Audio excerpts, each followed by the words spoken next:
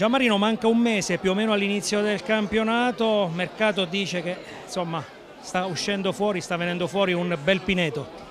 Sì, dai, eh, come ogni anno il, il, dottor Brocco sta allestendo una squadra importante, forte, Pineto negli ultimi anni ha sempre fatto campionati importanti, quest'anno facendo, siamo, siamo partiti, abbiamo cambiato tutto, tut, quasi tutta la rosa, abbiamo ringiovanito Adesso c'è bisogno un po' di amalgama, c'è bisogno di,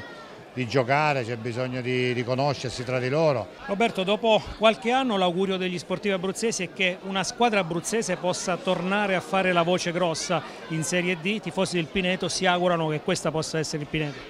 Eh, vabbè, noi, noi, noi, non ci siamo mai tirati indietro, eh, il Presidente ci ha, ci ha sempre dato la possibilità di creare organici importanti, poi nel calcio eh, purtroppo devi, si, devono, si, devono, allineare tante componenti. Il calcio, ripeto, non essendo una scienza esatta, l'importante è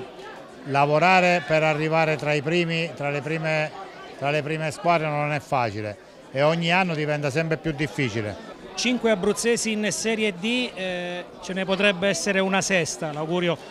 degli sportivi teramani in particolare.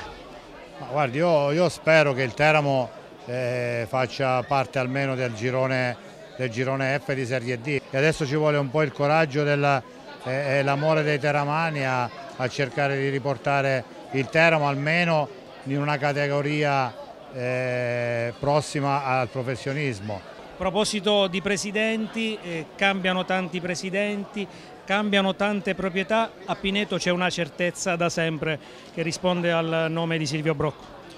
Allora, il presidente dottor Brocco è, è un appassionato che eh, ha vissuto il calcio dagli inizi del, diciamo, del, del Pineto, da, da ragazzino eh, ha fatto per tanti anni il presidente, ama questa società, ama il territorio, il presidente non è che è solo Pineto, il presidente aiuta tutti,